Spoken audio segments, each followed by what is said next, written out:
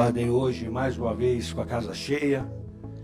cumprindo a sua função institucional de servir de palco de debate para os grandes temas de interesse, não só da advocacia, mas da sociedade paulista e brasileira.